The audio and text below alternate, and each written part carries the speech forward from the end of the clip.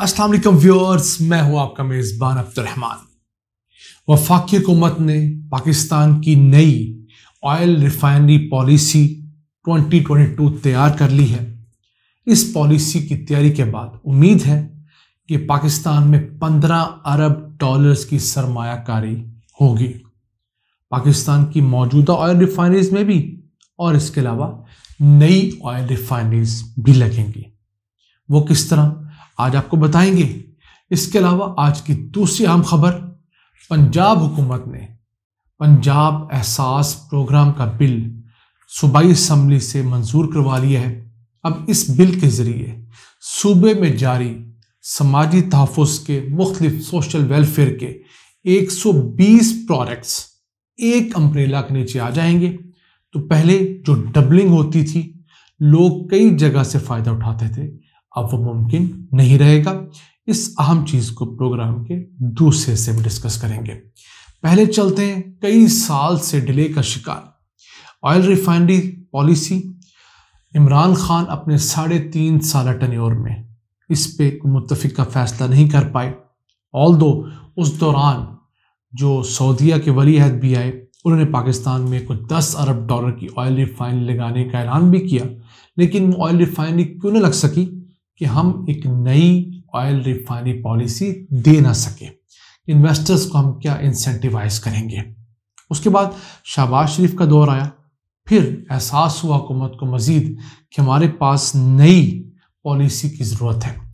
तो उसकी नोक पलक सवार ली गई है, तैयार कर ली गई है।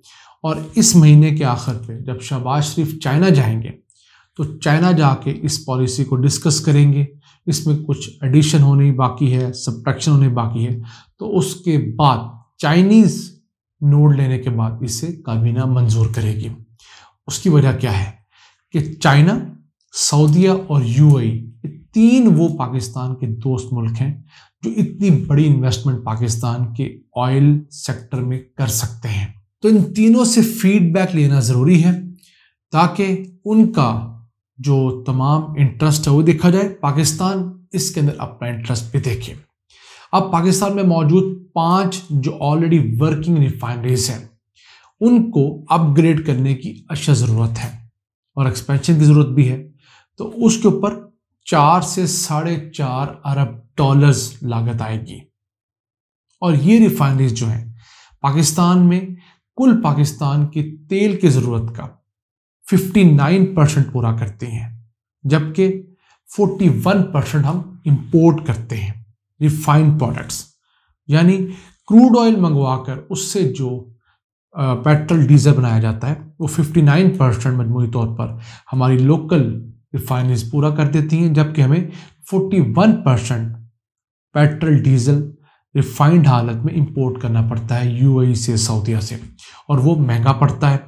अगर पाकिस्तान अपने मुल्क में ही सारा तेल क्रूड ऑयल मंगवाए और उसको यहाँ रिफाइन करें तो हमें फ़ी बैरल पाँच से छः डॉलर की बचत हो सकती है।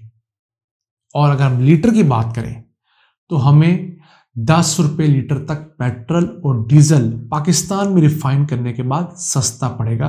मतलब उसके जो हम इस वक्त इंपोर्ट कर रहे हैं। इसके अलावा जो हज़ारों जॉब्स क्रिएट होंगी, यहाँ जो फॉरेन डायरेक्ट इन्वेस्टमेंट आएगी वो उसके अलावा है। फिर, इन रिफाइनरीज के अंदर पेट्रोल, डीजल के अलावा कुछ छः हज़ार से जायद मुख्तलिफ़ प्रोडक्ट्स बन सकती हैं। पेट्रोकेमिकल इंडस्ट्री पूरी डेवलप हो सकती है। उसमें भी डाउन द लेन प्लास्टिक बनेगा, तारकुल बनेगा, बहुत सारी फार्मास्यूटिकल की चीज़ें बनेंगी तो जॉब्स वहाँ भी पैदा होंगी। अब अगर आपको बताएँ कि पाकिस्तान के अंदर पेट्रोल कितना बनता है और डीजल कितना रिफाइन किया जाता है तो हमारी मुकामी रिफाइनरीज कुल पेट्रोल की ज़रूरत का सिर्फ़ 30 फ़ीसद पैदा करती हैं क्रूड ऑयल से। और पाकिस्तान अपनी ज़रूरत का 70 फ़ीसद पेट्रोल इंपोर्ट करता है। डीजल नस्बता हमारी रिफाइनरी ज़्यादा बनाती हैं, पैंसठ फ़ीसद डीजल मुल्क में बनता है क्रूड ऑयल से, जबकि 35 फ़ीसद इम्पोर्ट होता है। तो मजमू तौर पर 59 परसेंट लोकल है इंपोर्टेड 41 परसेंट है। गुजशत साल पाकिस्तान ने 25 अरब डॉलर की पेट्रोलियम मसनूआत इंपोर्ट की। उनमें से पाँच अरब डॉलर की पेट्रोलियम मसनूआत हमने रिफाइंड हालत में इंपोर्ट की, यानी पेट्रोल और डीजल की सूरत में। इस पाँच अरब डॉलर्स को कम करके चार अरब डॉलर्स भी किया जा सकता है, यानी कि मुकामी सतह पर रिफाइनरीज लगाकर एक अरब डॉलर्स हर साल बचाया जा सकता है और जॉब्स इसके अलावा क्रिएट होंगी। अगर हम डिमांड की बात करें उन नाजीन के लिए जो इंटरेस्टेड है तो हमारी सालाना पेट्रोलियम की डिमांड जो है तकरीबन दो करोड़ टन है। उसमें से एक करोड़ बीस लाख टन हम मुल्क में रिफाइन करते हैं, जबकि अस्सी लाख टन हम लोग इम्पोर्ट करते हैं रिफाइंड पेट्रोल और डीजल की सूरत में। तो ये बहुत अच्छा स्टेप है। इस हुकूमत ने लिया है। हम इसको भी अप्रिशिएट करेंगे, क्योंकि कोई हुकूमत भी अगर मुल्क के अंदर फॉरेन डायरेक्ट इन्वेस्टमेंट लाती है जॉब्स क्रिएट करती है बॉटल को ख़त्म करती है, नई इंडस्ट्री नई रिफाइनरीज लगाती है, हम उसके साथ हैं। इसी से चलते हैं आज की दूसरी अहम खबर। पंजाब असम्बली ने पंजाब एहसास प्रोग्राम बिल 2022 मंजूर कर लिया है। अब इस बिल का सबसे बड़ा फ़ायदा तो ये है, पंजाब भर में पंजाब हुकूमत के 120 मुख्तलिफ़ समाजी तहफ़ के प्रोग्राम्स चल रहे हैं। मसलन कहीं व्हील चेयर्स दी जा रही हैं, कहीं यतीमों को वज़ाइफ दिए जा रहे हैं। अब जो एहसास राशन प्रोग्राम शुरू किया गया एक सौ अरब रुपये का। वो है, फिर जो सेहत कार्ड है, उसमें दस लाख रुपए के अलावा भी अगर कुछ रकम चाहिए होगी, ऐसे गरीब लोगों को जिनका इलाज एक साल में जारी है, दस लाख कंज्यूम हो गया तो वो भी ये पंजाब एहसास प्रोग्राम के ज़रिए दिया जाएगा। तो पहले ये होता था कि जो चलाक लोग थे, वो मुख्तलिफ़ इदारों में जाकर एप्लीकेशंस देकर फ़वाद ज़्यादा ले लेते थे, जो उनकी कैटेगरी से ज़्यादा थे। तो अब चूँकि तमाम के तमाम इदारे इनिशिएटिव्स एक बैनर तले आ जाएँगे, पंजाब एहसास प्रोग्राम के बैनर तले तो फिर वो जो डबलिंग ट्रिपलिंग होती है, वो नहीं हो सकेगी। एक शनाख्ती कार्ड जब सिस्टम में आएगा तो पता लगेगा कि इस शख्स ने यहाँ से ज़क़़त ले ली है, यहाँ से राशन भी ले लिया है, यहाँ से फला फ़ायदा भी ले लिया है। तो ये तो पच्चीस तीस हज़ार रुपये की दिहाड़ी लगाए बैठा है पंजाब हुकूमत के बजट से। तो ये लोग जो दूसरे जनवन गुरबा का इस्तेसाल करते थे, वो काम रुक सकेगा। फिर सानी नश्तर जिसको यहाँ पर हेड कर रही हैं वो मॉडर्न टेक्निक्स अप्लाई कर रही हैं आर्टिफिशियल इंटेलिजेंस उन्होंने बेनजीन इनकम सपोर्ट प्रोग्राम में भी अप्लाई किया।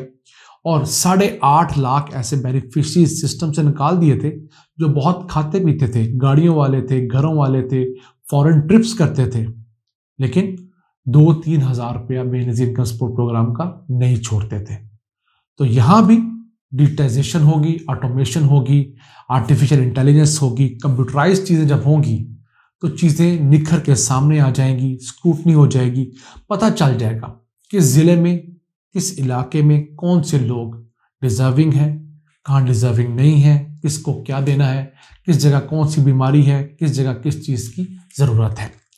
तो ये वो स्टेप्स हैं जो पंजाब के अंदर समाजी बहबूद के प्रोडक्ट्स को चार चाँद लगा देंगे। नाजिन आज के लिए इतना ही। मुझे उम्मीद है आपको हमारी एपिसोड पसंद आई होगी। अपनी तमाम आरा और फीडबैक से हमें ज़रूर आगाह रखा करें। अपने मेज़बान अब्दुलरहमान को इजाज़त दीजिए। अल्लाह के बाद